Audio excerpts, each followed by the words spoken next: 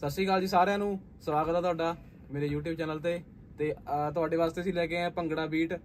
ਤੇ ਥੋੜੀ ਮੋਟੀ ਵੇਰੀਏਸ਼ਨਸ ਵੀ ਕਰਾਂਗੇ ਗਲਤੀਆਂ ਵੀ ਹੋ ਸਕਦੀਆਂ ਨੇ ਮਾਫ ਕਰਿਓ